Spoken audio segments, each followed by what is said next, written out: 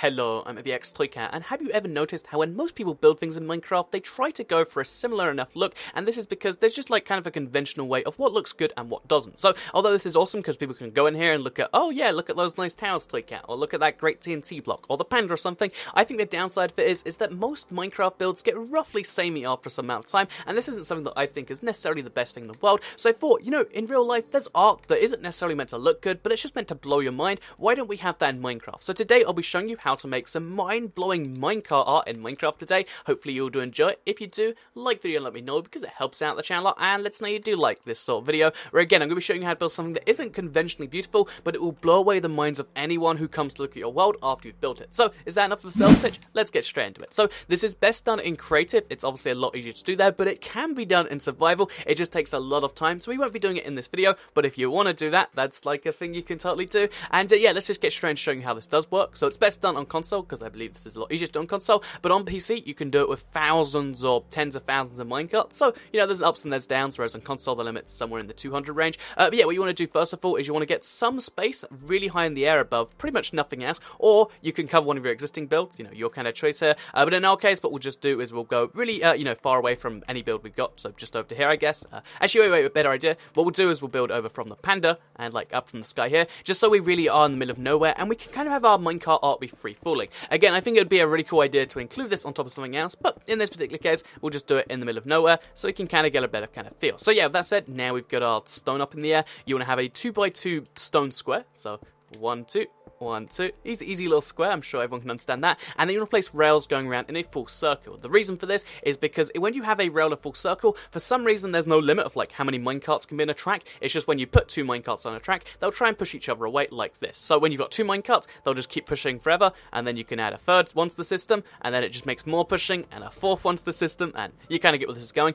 Because there's no limit to how many you can place on the system, they'll just keep trying to push each other around more and more frantically. So six, seven, eight, etc. And what we can do is we just sit here and we wait till we get to the max uh, minecart limit on console, or on PC you can go for as long as you really want to. And yeah, uh, I'll, I'll uh, you know I'll fast forward the next bit here, but you'll see just how easy it is to just slowly get to the max minecart limit and have it all exist in a 2x2 space.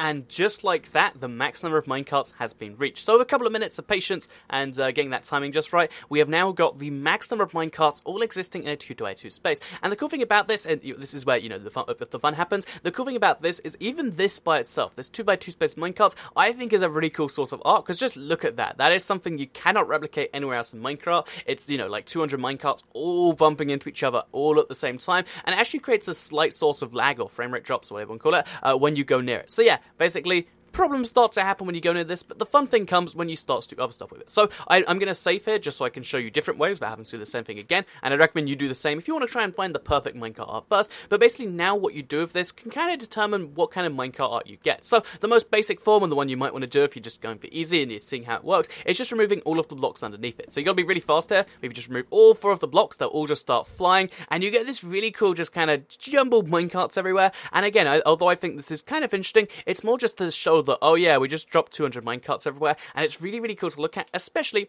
because, uh, you know, like, uh, you know, if anyone tries sitting around in one, it won't sit on the pile, so it's kind of like, uh, you know, a game of like, um, is it connects? I know what it is, but yeah, when you've got not connects, Kerplunk maybe, but yeah, when you get lots of stuff in the same thing, you just get this giant like uh, tower, and I think it's kind of striking to look at. It's not the most amazing thing you can do with 200 minecarts, but it is something that even by itself, the easiest thing you can do of this is still really, really cool to look at. And if you just cover, you know, one of your builds in this, it's going to be the sort of thing that makes people turn their heads. Again, not necessarily looking the best in the world, but it is going to blow a few people's minds. However, uh, I have a few other ideas uh, on how to make it look even better than this, and let's go to one of them now.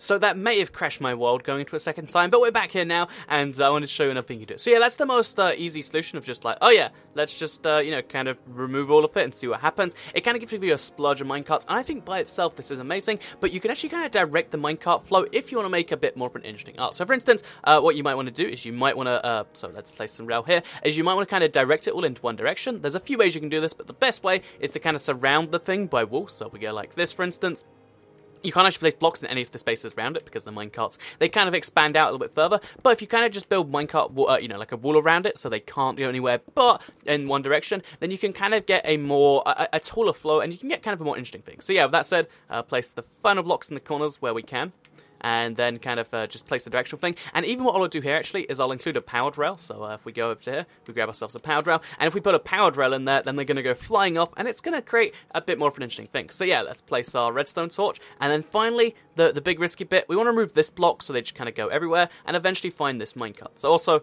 I'm to place some blocks there and a block there if we can. We can't.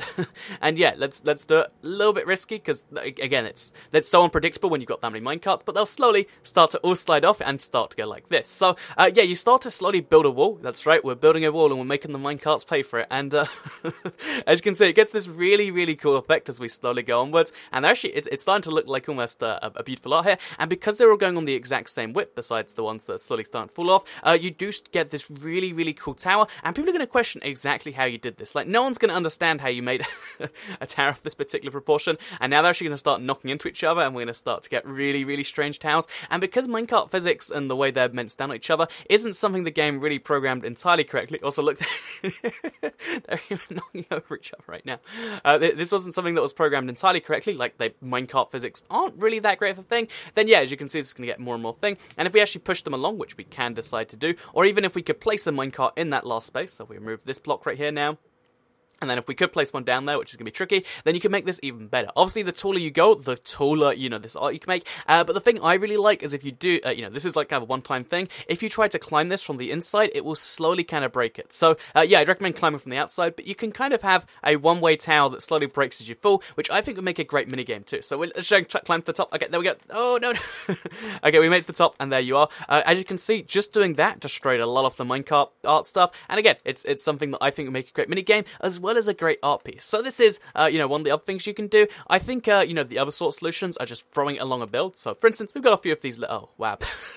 this is just kind of a wreck right here. Um, but if you have the other things you can just decide to do is, uh, you know, have it go into like multiple directions at the same time, but kind of make like a diagonal flow. Again, by, by controlling the flow of minecarts, you can do a whole bunch of cool things. And one of my favorite things is to have minecarts go on minecarts to make a minecart track out of minecarts. And although that seems like it's a really complex thing, it is, uh, you know, one of my favorite things to do here. So yeah, minecart art. Hopefully, even this, uh, you know, kind of brief look into what you can do has inspired you in some way. I'd love to see what you want to do with this sort of thing because again, I feel like Minecraft, uh, Minecraft builds. You look at them, you're like, oh yeah. This is, uh, you know, it looks nice, I guess. But when you look at something like this, you just go, "What, what, what even happened there?" You know, you, you WTF at it, and that is something that is, uh, you know, there's there's no value you can place in that besides uh, question mark. And a question mark is everyone's favorite value. But with that said, I hope you did all enjoy today's video, showing you some minecart art. Um, again, uh, maybe inspiring you in some way. Please do tweet me if you have, if you do decide to build anything with this, or let me know in the comments. Uh, otherwise, like the video if you did like it, share if you really liked it, and subscribe if you're new around here. I make videos like this one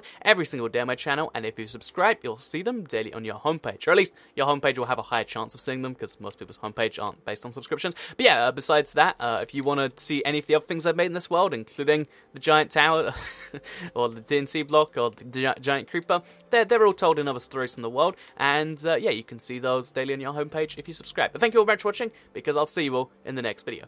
Goodbye.